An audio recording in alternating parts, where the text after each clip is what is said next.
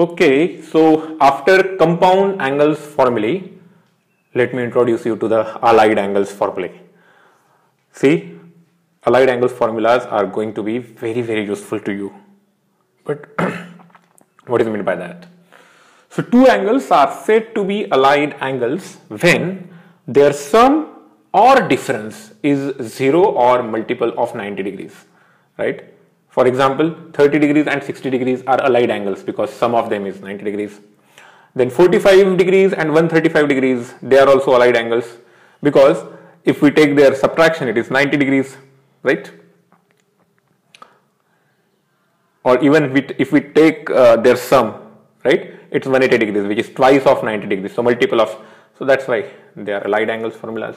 Now 280 degrees and minus 10 if we take sum that is 280 degrees minus 10 degrees it is 270 degrees. So and 270 is multiple of 90 right? And that's why they are allied angle formulas. So we will learn how to derive use and remember this formula. Okay?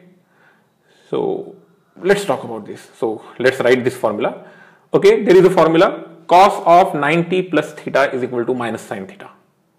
Okay? How does it come into come into existence but first of all, we can also write this as cos of pi by 2 plus theta uh, is equal to minus of a sine theta because 90 degrees in radians is pi by 2. So cos of 90 plus theta by allied angle formulas is going to be cos 90 into cos theta minus sine 90 into sine theta. Do you remember the formula for cos of a plus b? I am using that. Cos 90 is 0, sine 90 is 1 and that's why cos of 90 plus theta is equal to minus sine theta, right? It was very easy. Have you understood it? Okay, so this is the one way to derive that formula. Is there another way? Yes. Uh, for me, I always use the, I always try to use this triangle, uh, sorry, circle method. See, so we have these uh, angles, right? So here, for this point, the angle is 90 plus theta, since here it is theta, okay? Now coordinates of this point for theta, angle theta, they are cos theta and sin theta, let's say x and y. Now, this length is x, right? Now this is x. So for this point, the y coordinate, the distance from x axis is x, okay, which is y coordinate. And now here this is y and this length is also y but this is on this side means negative. So x coordinate for, for this point is minus y. And that's why the coordinates of this particular point are minus y and x. But that point is also cos 90 plus theta and sine of 90 plus theta because that is the angle right? Cos x sine x. So cos 90 plus theta and sine 90 plus theta. So what is cos 90 plus theta? Cos 90 plus theta is equal to minus y which is equal to sine theta. So cos 90 plus theta is minus sine theta and we have another formula also sine of 90 plus theta is equal to x which is cos theta. So by using triangle I can derive all the formulas sine, cos, tan at same time. So whatever formulas I am going to introduce to you, you have two or three possible ways. Either you can use the compound angle formulas and uh, the knowledge of sine and cosine values for quadrantal angles to solve for example what we did here okay? So what we did here. Or we can use the unit circle method and find like this. So use any method you please or you are comfortable with. Now allied angles formulae. Note down these formulas okay? You, you should write it down one by one when I am introducing. Sine of 90 minus theta is equal to cos theta can you imagine this? This is not that difficult. Huh? It's very easy. Let's say if I take this diagram 90 minus okay so let me again draw this circle so let's say if this is theta okay so this is 90 minus theta this point here, from this direction theta as you can see the x here will be y here and y of here will be x here so sine of 90 minus theta is cos theta and cos of 90 minus theta is sine theta. We have both these formulas. Okay, don't worry. You can also derive this by using the compound angle formula. Just try. Okay, you'll have to sit down and write it down and use formulas and do the calculations. See, while learning, it's not just about knowing the things. Okay, your brain should understand how things are unfolding. Take pen and paper, do it yourself, and get convinced that these formulas are correct. So sine 90 minus theta is equal to cos theta, cos of 90 minus theta is equal to sine theta. Hence tan of 90 minus theta which is ratio of the first and the second formula is going to be cot theta. Okay, so that formula for tan is also important but I am not numbering it because for uh, according to me only knowing sine and cos is sufficient to find the all other relations. Okay, now sine of 90 plus theta is cos theta, cos of 90 plus theta is minus sine theta. Hence tan of 90 plus theta is equal to minus cot theta, the ratio of the third and fourth formula. Sine of 180 minus theta is sine theta. Cos of 180 minus theta is equal to minus cos theta. Hence tan of 180 minus theta is equal to minus tan theta. Then sine 180 plus theta is equal to minus sine theta cos 180 plus theta is equal to minus cos theta and hence tan of 180 plus theta is equal to tan theta. This is really crucial, huh? this formula. Tan of 180 plus theta is again tan theta, so it's repeating after 180 degrees, unlike for sine or cos, which repeats after 360 degrees. So, more formulas are there on next page. How to derive above formulas, just think about it, okay. So, observations are very very important. I hope uh, these observations will help us.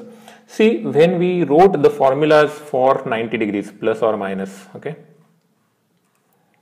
For 90 degrees. For sine we have cos. For cos we have sine. For sine we have cos. For cos we have sine right? And when we have 180 degrees for sine we have sine. For cos we have cos.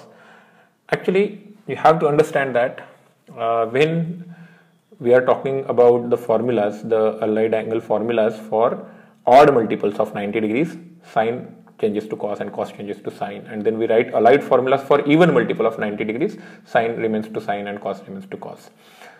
Okay, and so these observations I will take it further.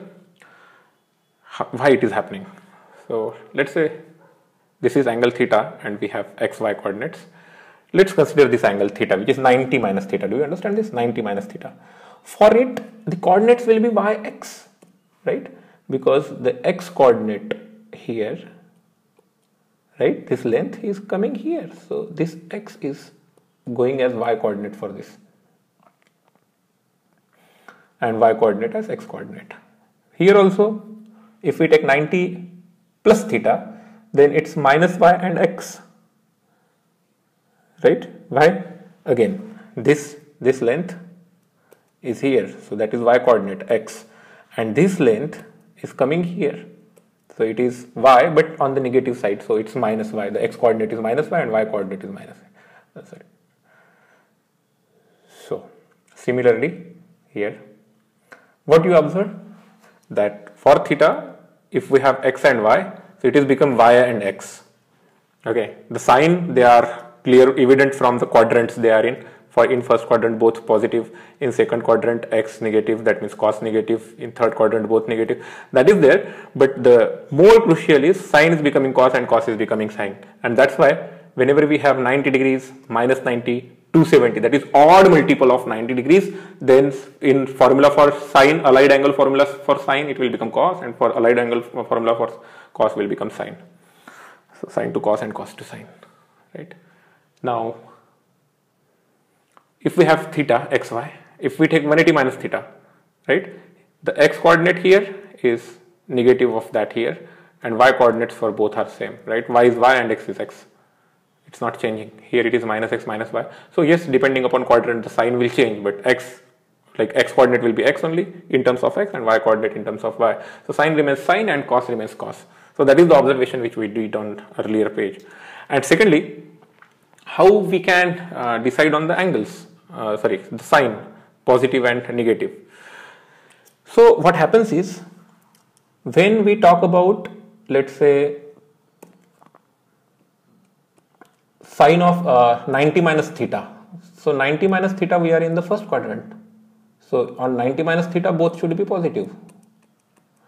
When we write 90 plus theta, in 90 plus theta, we come here minus and plus. So the cos formula for cos of 90 plus theta should give minus, but cos of sine of 90 plus theta should give plus. So observe this.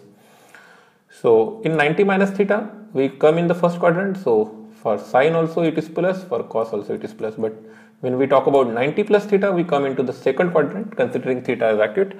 So sine is positive, but cos is negative. So this is the observation which is going to help us uh, understand it uh, better, right?